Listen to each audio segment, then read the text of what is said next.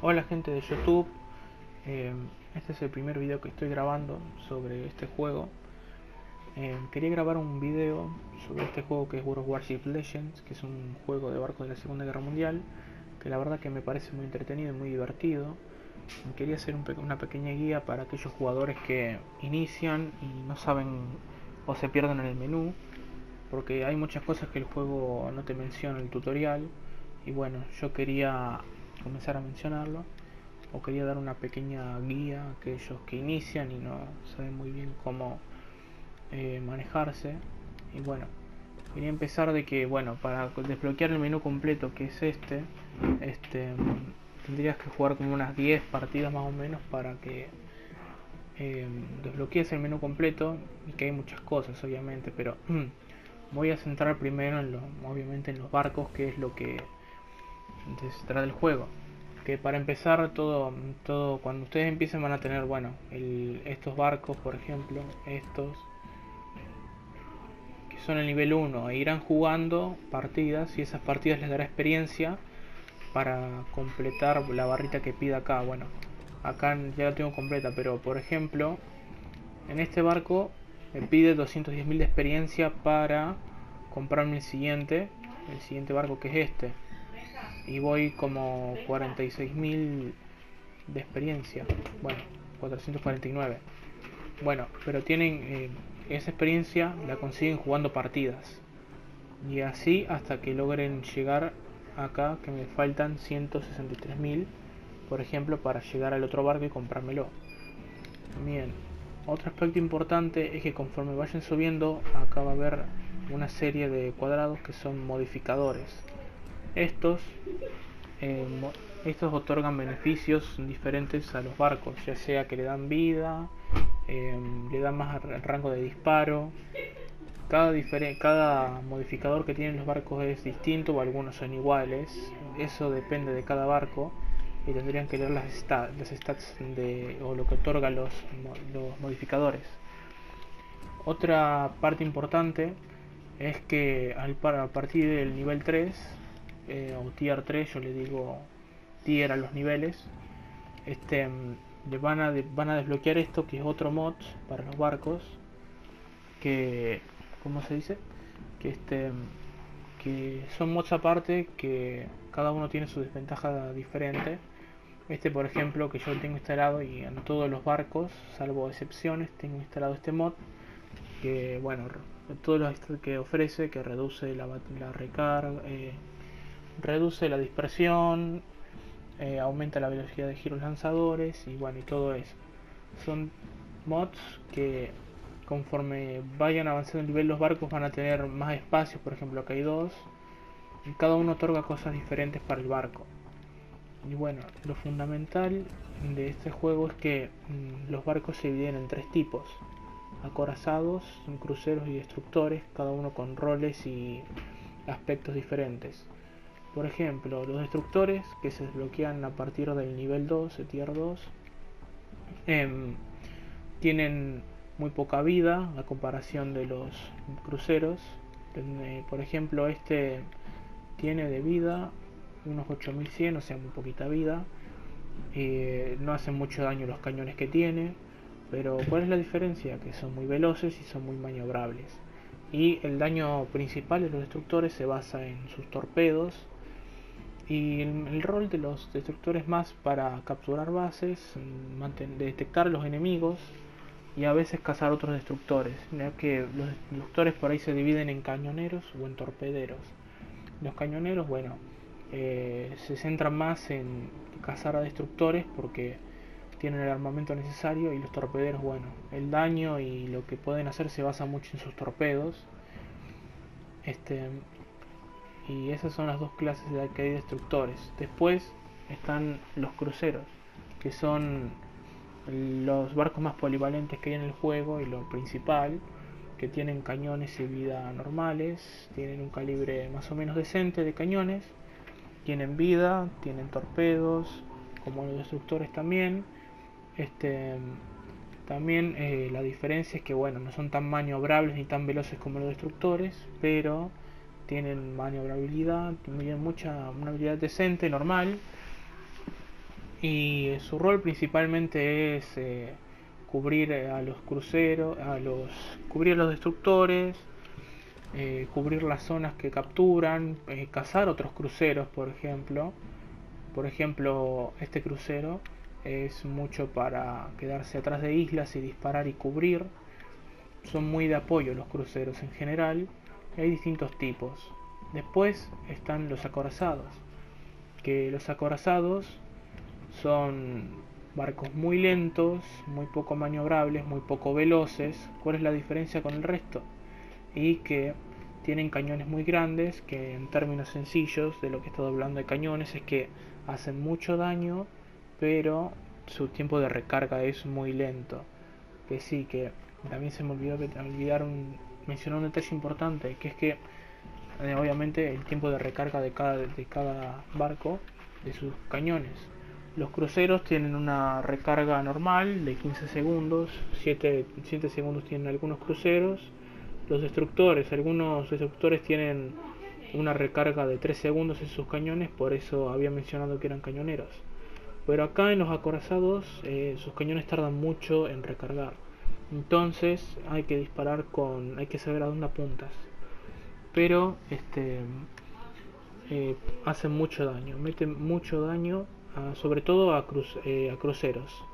Por eso se especializan en cubrir zonas o en cazar cruceros y de cazar otros acorazados.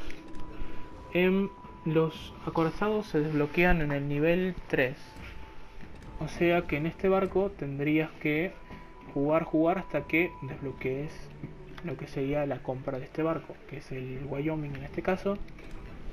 Mm. Y bueno, y así sigue la rama. También hay, también este, otro aspecto importante es que hay diferentes naciones, japoneses, ingleses, alemanes, franceses, y cada nación tiene ventajas y desventajas. Cada nación tiene aspectos diferentes en sus barcos que lo podría mencionar en otro vídeo porque sería muy largo este de que las ventajas eh, varían. Por ejemplo una diferencia entre los cruceros de otras naciones y los eh, estadounidenses es que los cruceros estadounidenses no tienen torpedos en ninguno de esos niveles en comparación con otras naciones como los alemanes, por ejemplo, o todas las naciones llevan torpedos, que son esas cosas que tienen ahí en el lateral del barco, por ejemplo.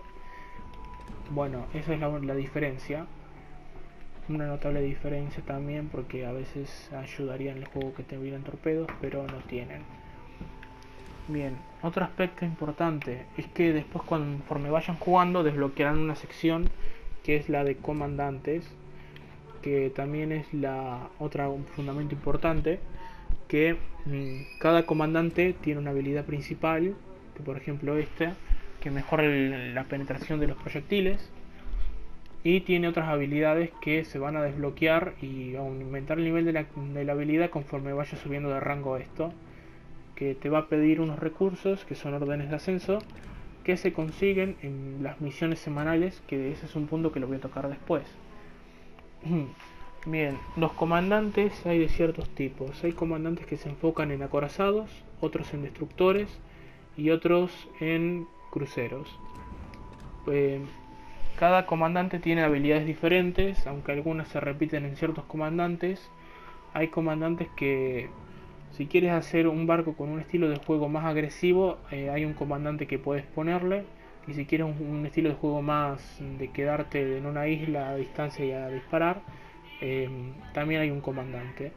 Todo depende mucho de la configuración que tengas en, un barco con tu comandante. Se nota bastante en los destructores y en los acorazados sobre todo. Por ejemplo, en este comandante de acorazados, bueno, porque ahí en la, skill, en la habilidad, dice que aumenta la, el daño AP de de los proyectiles del acorazado pero, por ejemplo, algo que cambia el estilo de juego de un acorazado, que un acorazado es más para quedarse atrás disparando, lo que cambia es esta habilidad que aumenta el tiempo de reduce el tiempo de recarga de los cañones principales del acorazado, pero eh, le reduce el rango de disparo también. O sea que va a tener que acercarse mucho más a un barco enemigo para disparar. Eso sería si quieres hacer una... Si quieres jugar con un acorazado mucho más agresivo y no quedarte desde 12, 10 kilómetros disparando y quieres estar a 5, 8 kilómetros disparando con un acorazado. Por ejemplo, este, este comandante también es de acorazado, pero la diferencia es que este es mucho más para quedarse atrás de, una isla, eso de 20 kilómetros, 17 kilómetros disparando, porque sus habilidades van enfocado a eso. Van el giro de torreta y por ejemplo esta que reduce la dispersión pero aumenta el tiempo en el que dispara. Pero este tira más para quedarse eh, atrás de todo disparando.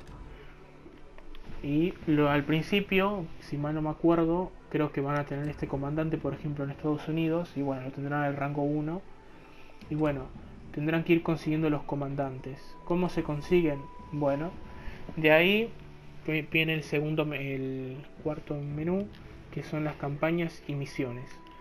Que esto básicamente acá es donde están las misiones y están las campañas, bueno, que sería el pase de batalla básicamente acá en World Warships.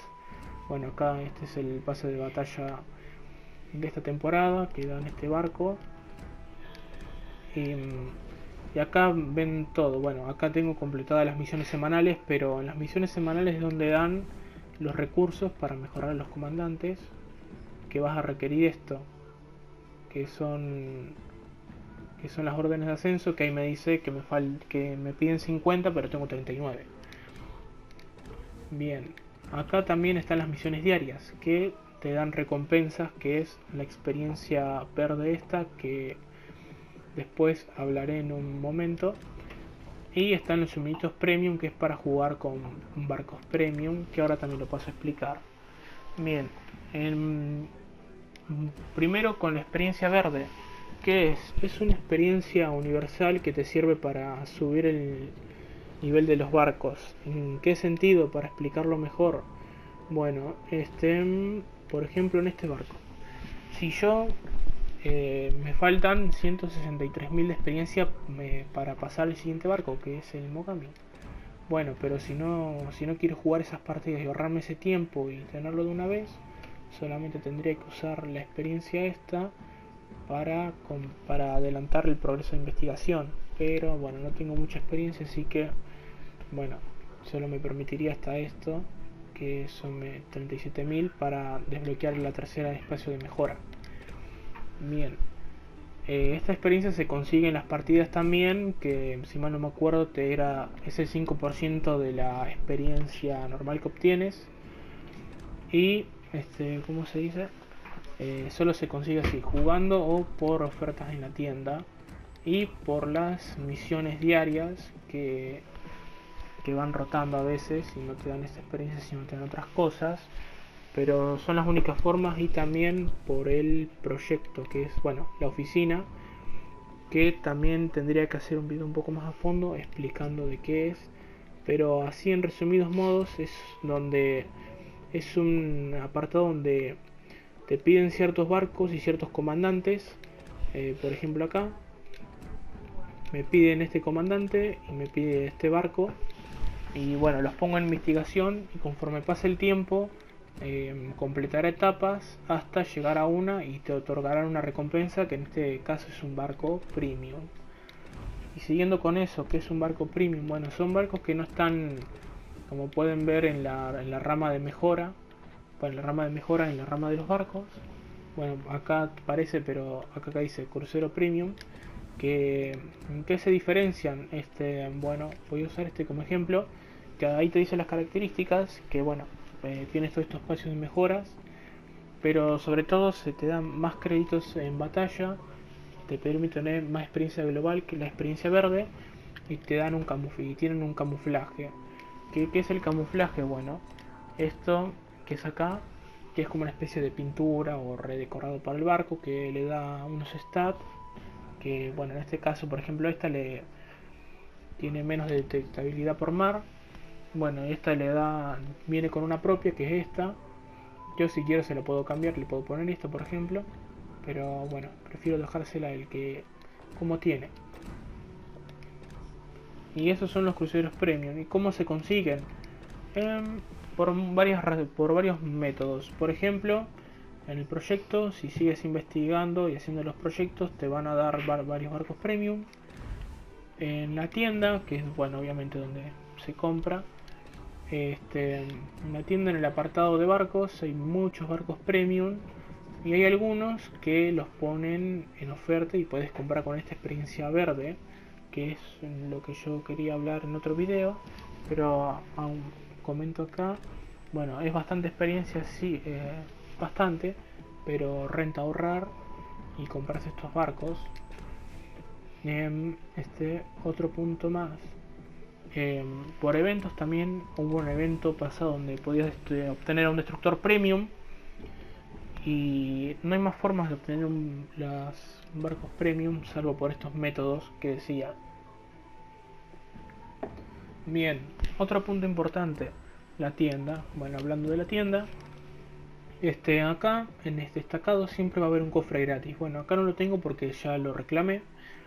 Este y la tienda hay bastantes apartados. Bueno, están los doblones, que es la moneda premium del juego que yo les aconsejo que ahorren y no gasten en, cosas tontas como por ejemplo, no sé, em, en esto, en los días premium, pues depende de ustedes si quieren hacerlo o no. Yo por lo personal prefiero ahorrarme para el pase, que cuesta unos 2500 doblones, pero al principio creo que van a tener eso de 400 por ahí. Y acá hay bastante bueno acá si acá está por ejemplo un evento que hay ahora y acá van a ver el apartado de los eventos en especiales o ofertas que vaya haciendo la empresa bueno en este caso es Wargaming la empresa que vayan haciendo los desarrolladores del juego. Lo ven acá. Acá es para comprar las cuentas premium y acá es para comprar comandantes que no hace falta porque los comandantes te los otorgan en las misiones semanales, te dan un cofre de comandante y te puede tocar aleatoriamente cualquier comandante. Después está el apartado de cajas donde hay varias cajas, que son estas cajas de comandantes que te otorgan en las misiones semanales. Y están estas cajas grandes que son cofres un poco más... que tienen... te dan muchas más cosas que un cofre normal, pero y con la oportunidad de, conseguir un barco premium, aunque es muy, muy baja probabilidad, ya les digo, pueden abrir 50 y no les puede tocar nada. Después está el apartado de los barcos, como mencioné. Y bueno, los suministros que son camuflajes, si quieres gastar doblones o dinero en camuflajes o en impulsores. Que voy a tocar esa parte de los impulsores ahora. Que si quieres eh, ganar experiencia rápido y pasar de barco rápido, acá en impulsos hay distintos que impulsores y de categorías. El básico te aumenta un 25%, el raro te aumenta un 50% y bueno, y el épico legendario te aumenta un 100% de experiencia en cada batalla. Lo mismo para esto, que es experiencia de comandante, que es una experiencia azul, que esa experiencia azul se usa para mejorar los comandantes, que me olvidé de mencionarlo, Em, que abajo recursos disponibles te dice la experiencia que tengo y la experiencia que te pide el comandante para ascenderlo. En este caso, bueno, a mí me, me pide 56.000 y 25 órdenes. Después, otro es la experiencia global, que aumenta la cantidad que consigues. Y después el del dinero, que aumenta el dinero obviamente que te dan por partida. Y otro donde aumenta la velocidad del, barco bueno, acá también otro, depende de la del impulsor de aumentar esto, en este caso. Y bueno, yo en mi caso prefiero ahorrarme los impulsores de experiencia o de dinero en barcos de nivel alto. Porque otro aspecto importante que por ahí no se pueden dar cuenta es que mm, en las partidas los barcos tienen ciertos costos y por ahí en niveles altos se nota la diferencia. Este, puede ser que un barco cueste mucho de usar y te saque termines perdiendo dinero. Este, pero esos serían barcos de nivel 7, que son estos, que van a tardar un poco, no mucho, porque no se tarda mucho de pasar de un barco en otro, pero eh, estos barcos ya comienzan, que comienzan a costar bastante dinero cuando los usas. Y bueno, este es otro aspecto. Bueno, también como el juego les habrá enseñado, eh, los barcos tienen la munición AP, la munición HE, cada una que tiene usos diferentes. El AP es más para, para romper blindaje, con, si eres un crucero puedes usarla contra cruceros. Eh, la HE puede, puede servirte para disparar con, contra un acorazado si eres un crucero. Pues si eres un crucero y ves un acorazado, la munición AP no le va a hacer mucho daño, así que es mejor que uses la HE, que le vas a hacer más daño y lo puedes incendiar. Bien. Em, después eh, está el dinero, obviamente. Después están los doblones, el dinero. Y están lo de las cuentas premium, que la cuenta premium básicamente es que ganas más dinero y experiencia por batalla. Mm, más dinero y experiencia por batalla. Bueno, acá no tengo ninguna batalla hecha. Creo que hubiera hecho una batalla antes para mostrarlo. Pero, ¿cómo se dice? Este, esta cuenta la puedes comprar en la tienda o por en el pase te pueden dar días de días de prueba en la de cuenta premium por ejemplo, en acá te dan dos días de tres días de cuenta premium. Y también como te pueden dar distintos recursos, por ejemplo en el pase, acá me dan experiencia, doblones, camuflajes. Em, y bueno, después este después está la parte de los contenedores, las sociedades si quieren jugar en divisiones. Y esto sería más o menos un tutorial. Perdonen que por ahí hay muchas cosas que no me supe explicar. Es la primera vez que grabo un video y quería hacerlo lo más ameno y lo más ameno posible y lo más básico sobre cómo manejarse en el juego. Este, si quieren, si quieren más videos de esto, comenten y digan. Y iré trayendo otras guías, por ejemplo, la diferencia que hay entre las distintas naciones, ya que cada barco se juega de manera diferente y cada nación tiene una tiene se enfoca en distintas cosas en los barcos. Y bueno, este ha sido la guía. Em, espero que les haya gustado y bueno, comenten si quieren más videos. Muchas gracias.